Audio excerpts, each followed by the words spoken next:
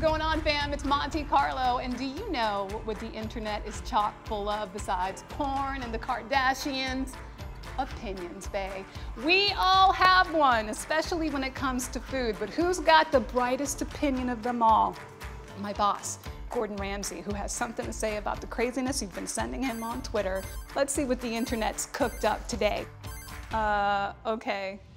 Wow, look at this wide open bag of suck. It is literally tuna with mayo mixed in. Why would you do this to yourself? Who eats this crap? You know what? This dish needs help. Ramsay Redemption. Let's do it. You want to impress your Tinder date? Make them a beautiful composed salad with jarred tuna. That's step one. Does this look like something you'd serve to your cat? No, this is good stuff, all right? First things first, we're gonna elevate this tuna by adding some heat to it, and that means pickled jalapenos. Like, look, this is a mandolin. You can slice a jalapeno with your knife and show off your perfect knife skills, or you can be a complete lazy bum like me. Look at this, isn't that gorgeous? Um, no, you can see through it. The jalapeno's hot, that's no joke. We are gonna pickle this jalapeno. It's a quick pickle, which means it takes no time at all. And what that's gonna do, it's gonna add acidity, it's gonna add heat to your salad, it's gonna make it perfection.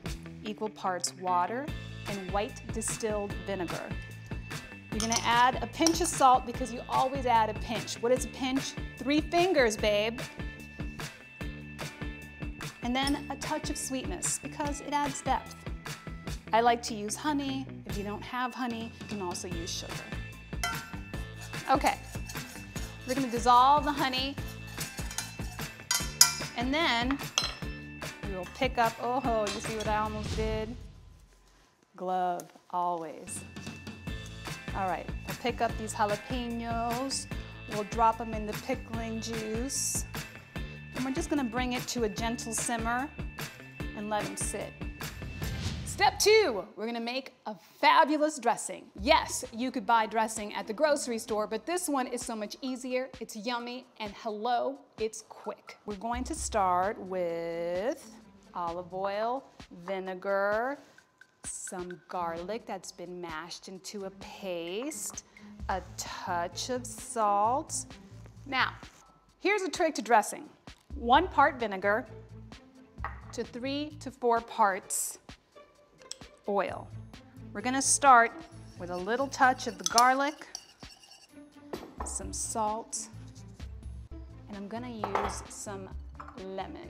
Why lemon and vinegar? Because I like to combine vinegars and acids. That way it gives you depth of flavor. You're gonna get the juice of a whole lemon. Look at my Mike Tyson strength. Are you sick of my 80s references? Now, it's very important when you're making dressing that you taste it before you add the oil. You want it to be bright, acidic, and have enough salt in it. Salt will elevate it. Oh yeah, that's pretty good. All right, we're gonna drizzle the olive oil in little by little, and then we're gonna emulsify. Emulsification is just a fancy word for the oil giving the vinegar a nice big hug. Don't pour all the oil in at once. A little more acid, and we are ready to go.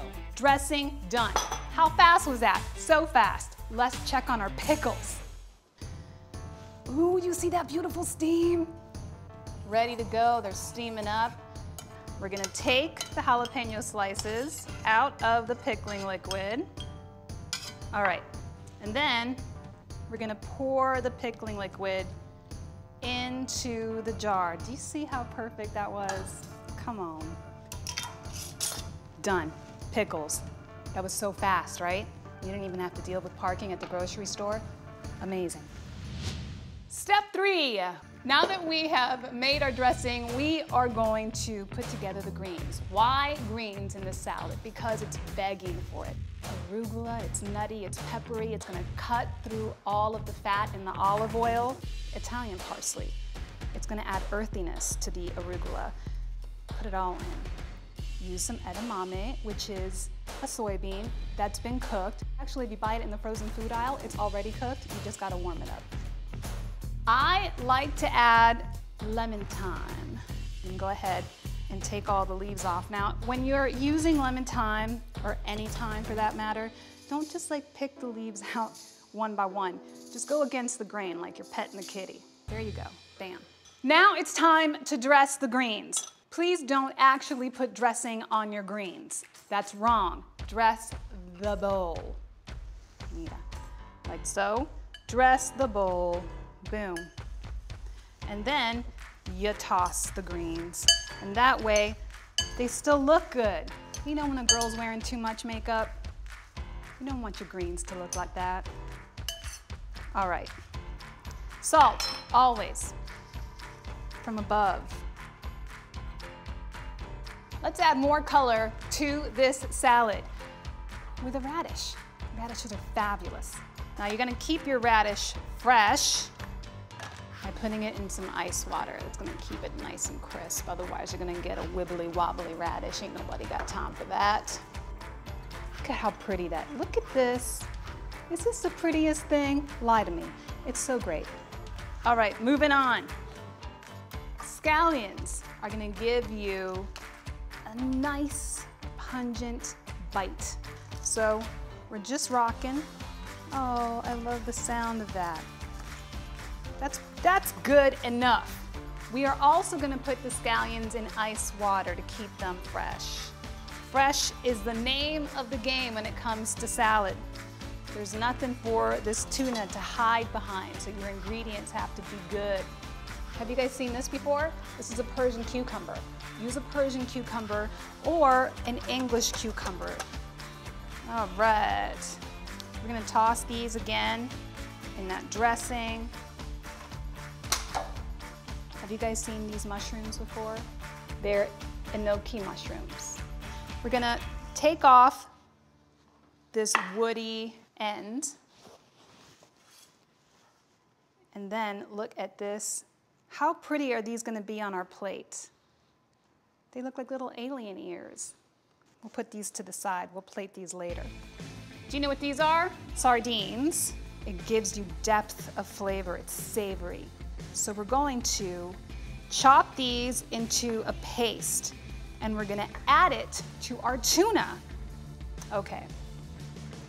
We're gonna take our sardines and we are gonna mix them into our tuna. Don't break up the tuna, be gentle about it, okay? Now that we have our 158 components ready to go, let's redeem this dish. We've got our greens, they've been dressed.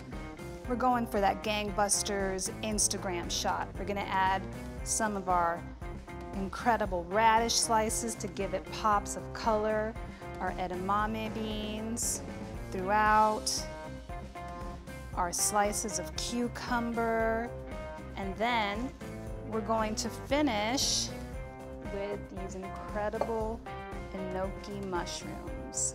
And then we're going to very gently place our tuna, just a little here and there, okay?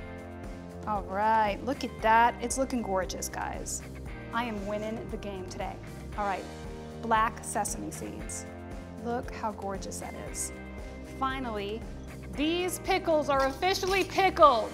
This is going to add that incredible heat. It's gonna cut right through and give incredible personality to this tuna. That's what you eat for lunch. This dish has been redeemed. Look at this beauty, okay? This looks so much better than that dish that Gordon called cat vomit. Let him utter those words about this salad. It ain't gonna happen. This dish really moves me. Thanks so much for hanging out. If you've got a dish that needs redemption, just submit it with the hashtag Ramsay Redemption. Gordon would love to talk trash, and I would love to try and fix it. Thanks for joining us today, and make sure to hit subscribe so you can watch more fun Gordon Ramsay videos. I'm just gonna cool it. Cool it now, you gotta slow it down. Anyone? Anyone? Anyone in their 40s here? No? Okay.